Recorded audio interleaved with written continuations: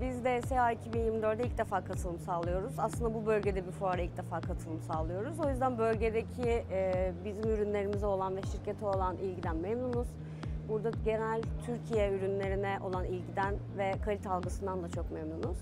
E, fuar bizim için genel olarak güzel geçti diyebiliriz. Özellikle ateşleme sistemleriyle ilgili çalıştığımız için deniz üstü e, ateşleme sistemimiz USAS burada bölge itibariyle çok ilgi gördü.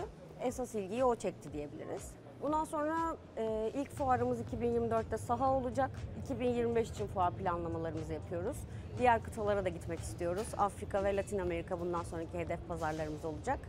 Onların da bu kadar iyi geçmesini diliyoruz. Arkamda gördüğünüz tüm ürünler aslında uzaktan e, haberleşme sistemleri ve ateşleme sistemleri.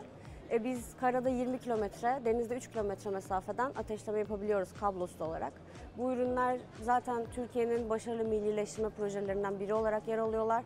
Global muadillerinden çok üstün haberleşme mesafelerine sahipler. Diğer kontrol kumandası ürünümüz de hem insansız kara araçlarını ve dronları kontrol edip hem de bizim alıcılarımızı ateşleyerek e, tek kumandayla bunları yapabilen e, bir ürün olarak dikkat çekiyor.